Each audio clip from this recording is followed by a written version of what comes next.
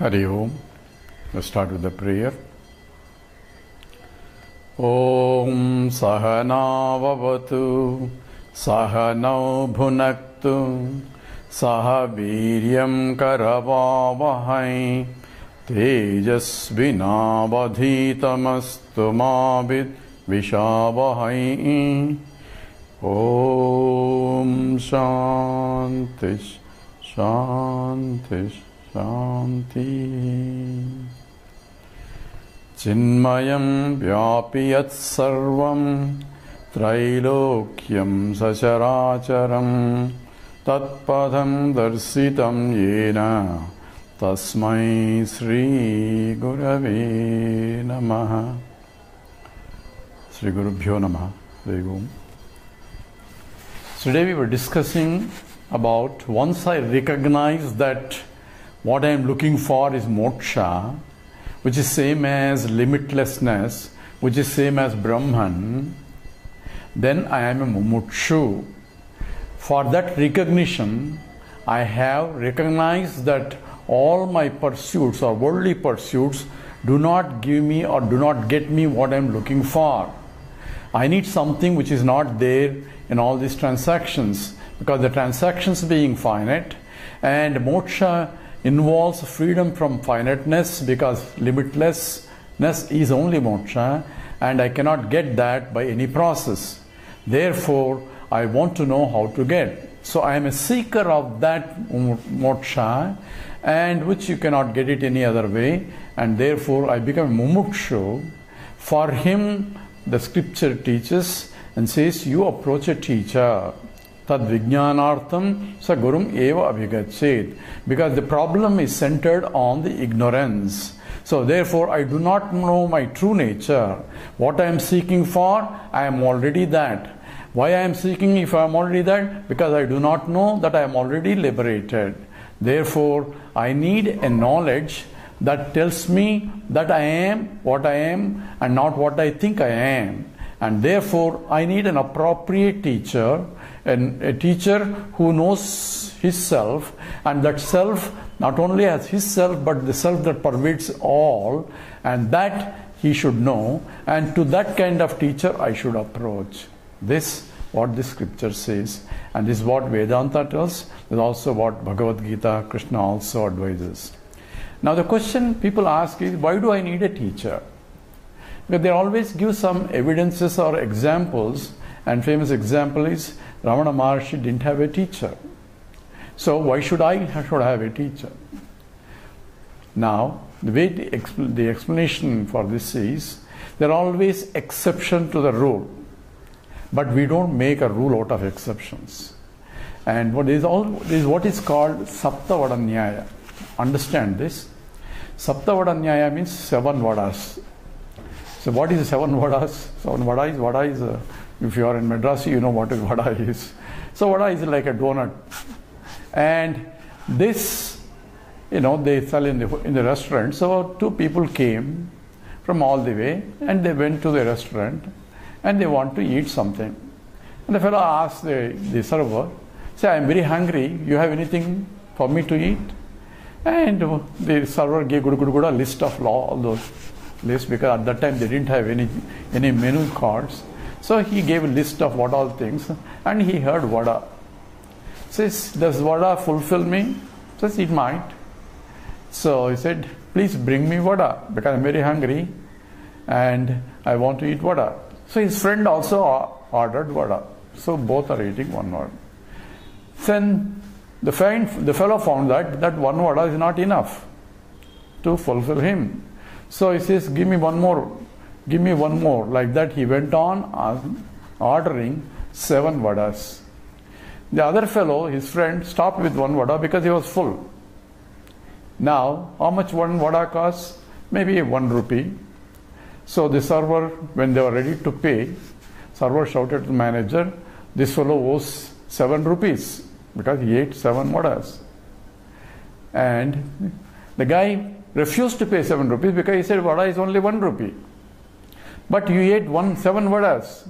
Says I said I told him I'm hungry. He said vada will fulfill, and he unnecessarily brought all six vadas. What fulfill me is only last vada. So I'm going to pay for the last vada. So seventh vada is only efficacious vada that is satisfying and fulfilling. All other others are necessarily he brought it for me to eat and keep me engaged. And therefore I'm going to eat, I'm going to pay only for that vada. So this is the logic. But see, my friend, he, for him, he brought the seventh vada first time itself because he stopped with one vada. So when you ask his friend, how could you stop with one vada? Because I ate six vadas at home before. I am already full. One vada is enough. The implication is if you already have the six vadas in the previous life, if you come already pre prepared, then vada is one vada is enough for you to take off. But if you are not started, you need from the beginning all the way. So most of us, we are not exposed to Vedanta before, therefore we need a teacher who can teach us properly. Therefore that is more a norm than the exception. So those Mahatmas who have already are exposed to Vedanta or already have that sadhana in the previous life and they can be born in a conducive environment and they will take off rapidly. And that's what Krishna says in the sixth chapter when Arjuna asks what happens to a guy who has already studied but did not attain the moksha. So, for everyone, we need a teacher. When we need a teacher even to play football, or we need a coach to play football, or we need a coach to coach to learn swimming and tennis, for all those things we need a teacher, then how come we, we ask the question, why do we need a teacher for spiritual guidance? No, in, in, in the universities, no guide is without any guide, you, not, you cannot do even a MS or a PhD. So you need a guide to guide you how to do it, how not to do it, and so on, so that we can easily evolve quickly.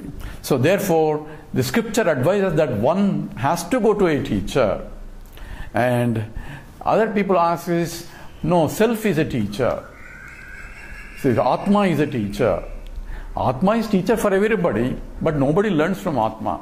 So you need an external teacher until I discover Atma is my teacher. So first you need an external teacher to guide to guide one. And some people say all you have to do is sit down and be silent and learn from silence. If I have capacity to learn from silence, then definitely I don't need a teacher. But to gain the capacity to learn from silence, because I have to understand what exactly silence means. For that, I need a teacher. Silence is not absence of noise. Silence is, as we'll see, is in spite of noise. Discover that I am all the time silent in spite of all the thoughts that are going because they are only external. I am unaffected by the perturbations in the mind. That knowledge, and to gain that knowledge only, I need a teacher. So everyone must have a teacher. So how do I know? Where, where do I find the teacher? We already mentioned it's only due to the grace of God. You will discover your teacher. But then what should I do? You do your sadhana. You prepare your mind by proper discipline that we have started discussing. And once you are ready, then the teacher shall come to you. As Swami Chinmayananda says, the flower does not have to go in search of a bee. All it has to do is beautify itself and bloom it, and the bee shall come. And that is the law. Therefore, beautify your mind, and Lord Himself will send appropriate teacher. The how do I know who is my teacher when He comes? He says, first thing is prepare yourself and get any help from satsang by satsangatve nissangatvam nissangatve nirmohatvam nirmohatve nischalatatvam nischalatatve jivan muktaha Shankaracharya says in the Govindam says by satsang but means by association with the good books good thoughts and good people mind evolves and in the evolution of the mind you will discover who is your teacher. It is from you that comes because he is my teacher because he helped me. No teacher will say, I am your teacher. So, a proper teacher is one who directs disciple not to himself as the authority but to the scripture as an authority. Scripture says so therefore it is so. This is what i learned from my teacher. Therefore every teacher acknowledged his teacher as the source of knowledge and source of the knowledge is ultimately is the vedas. So that is the how we have to know what is the meaning of a teacher and why scripture insists that we had to go to a teacher. Now we were discussing last time the, the four D's or four disciplines that are required for student to qualify as a, as a ideal student. One is the discrimination, that is the viveka, the dispassion, that is the vairagya, the discipline, there are six the Shat Sampatti, Shamadhi Shatka Sampatti, those are discipline in the mind required, and mumukshutvam or the desire. So the discrimination, dispassion, discipline, and the desire for moksha are required for one to evolve. These are essentially the fourfold qualifications and the sadhana chatushtayam and Shankaracharya defines these elaborately in the Brahma Sutra Bhashya, uh, the first sutra where Athato Brahma Jigyasa, then therefore inquire when or thereafter, whereafter, when after gaining these fourfold qualifications, Brahma Jigyasa. So one can go from mumuksha, mumukshu to jignasu by inquiring. Jignasu means you have to inquire. So it requires a mind to inquire. Therefore, the mind has been now prepared by these the fourfold qualifications that are required for the student. So with that, we have prepared a student in terms of what is required for an ideal student. In that, way, we're examining the, the fourfold qualifications and we're talking about the discrimination. And the discrimination or viveka is first, which is essential in all this. So, throughout our life, throughout the spiritual growth, this is most important for us. What is that involves? It is Nitya, Anitya, Vastu, Viveka. So it is a discrimination of what is real and what is not real. That's what the definition of that. What is real is nityam, that which does not undergo any modification. That's what we define as nityam. Anadi, this is the uh, Trikala abhaditam satyam, satyameva nityam. So Trikala abhaditam, that which is not or cannot undergo any change at any, any time, a changeless entity which remains same all the through, that alone is the satyam and that is almost nityam because it is eternally present. And that is the definition of what is real. So, what is real? We should have clear understanding. So, what is real is unchanging, unmodifiable, that which cannot undergo any modifications, nirvikaraha. That is what is called nityam. So, is there anything, something in this, that kind, in this world, in this universe? The scripture says yes the Brahman that you are looking for is Nityam. Why? Brahman itself means infinite. So infinite cannot undergo modification. If it undergoes modification, it's not infinite. So only finite things can go under modification. So by definition, only thing that does not that that meets this criteria is only Brahman. So, what is Nitya, Anitya, Vastu Viveka? Now we have to see what is Brahman and what is not Brahman in this, this using the discrimination. So, how do I know how to discriminate? Because I don't know Brahman in order for me to discriminate. And that's why I'm studying here. So, yes, this is what I had to learn, and that's why you need a teacher. The process is because it's extremely subtle. This is how can I differentiate something that I cannot really perceive, I cannot really know. And that's why Vedanta becomes a means for which a teacher is required. Now, this Nityam and the, uh, that is real, there is unreal because Nitya, Anitya, Vastu Viveka is, is what is discrimination. So I need to know real and unreal. So, what is unreal? Now we have to be careful. We'll try to see logically because there are a lot of confusion comes into this, and because of the many acharyas also define in a different ways. So, according to Advaita, that which is eternally present is nityam. That is Brahman alone is nityam. So that we have defined. Now the second question that you say, then what is anityam? What is asatyam? Sat, asat, vilakshanam. Sorry, the, the that which is eternal and that is which is changing, real and unreal. But unreal is actually defined as that which has no locus for existence. So unreal is that where there is no locus for existence. In the Nyaya Vaiseshikas, they have defined that there is no way it, there can be. The simplest example and appropriate example is Vandhyaputraha. Vandhyaputra means son of a barren woman. So there cannot be son of a barren woman because it's illogical, self-contradictory. Because the Vanja and Putra do not match there. Because Vanja itself means cannot have a child. And if there is a child, so it is a contradictory. So there is a self-contradiction in the word itself. There cannot be a, a, an object which is called Vanja Putraha a person that is Vanjaputraha.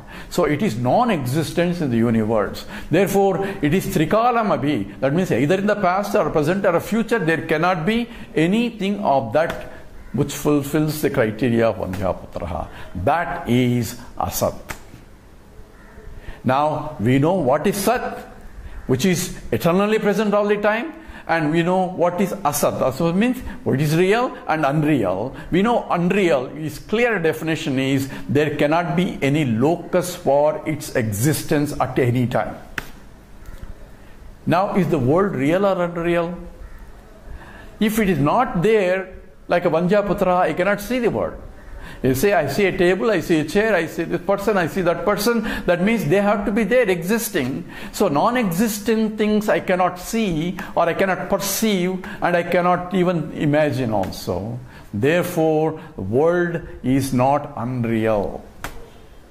Because I can see, unreal things cannot be. Vanjaputra I cannot see. So it is not non exist. There is a locus for existence. There is a chair. There is a locus of an object there, chair. And therefore, every object in the world that I am perceiving and I am thinking and I am analyzing logically or by any pramanas, it has to exist.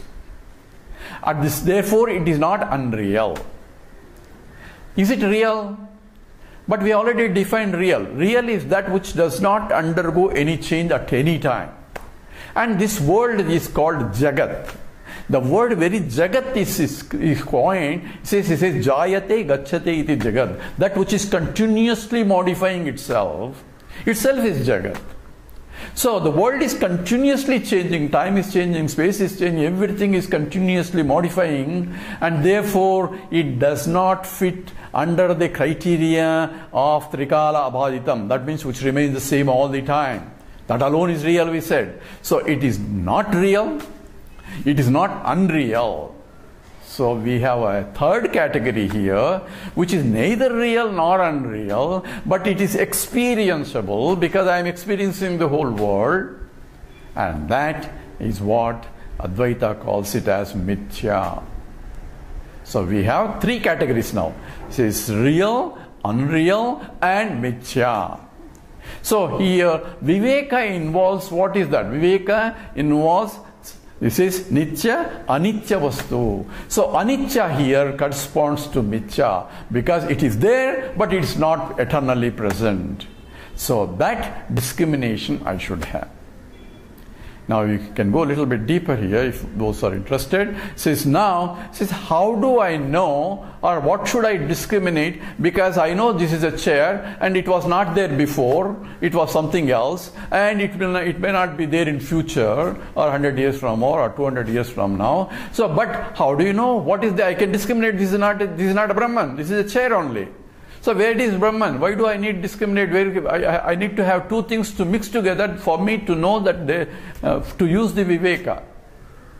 So that exactly is the reason why it is extremely subtle. Vedanta says so because you already concluded something here. It says there is no Brahman here. But the definition of Brahman itself has to be clear. Brahman is infiniteness. So infiniteness cannot exclude anything. So therefore it includes everything. So it is there everywhere, including the chair, table, everything else. So now I should have correct understanding. A chair means it is a chair object that I am seeing, plus Brahman is also there. Just as we can easily say space is also all pervading. So everywhere the space is everywhere. So including the table also there is a space there and therefore the chair plus space is also there. Because space is that which accommodates avakasham, that provides an avakasham, and that is what essentially involves. So I need to have a subtle because I cannot perceive directly, but it is there. For that only viveka is required. And that is why I need a sukshma buddhi, a subtle intellect, in order to differentiate what is nityam and what is anityam. And that viveka has to be developed by sadhana, by practice. So we'll go into more details as we go along. Now we will do the, the, the prayer now. Om Purnamada Purnamidam Purnat पूर्णमुदच्यते पूर्णस्य पूर्णमादाय पूर्णमेवावशिष्यते। ॐ शान्तिश्शान्तिश्शान्तिः हरिः ॐ श्रीगुरुभ्यो नमः। हरिः ॐ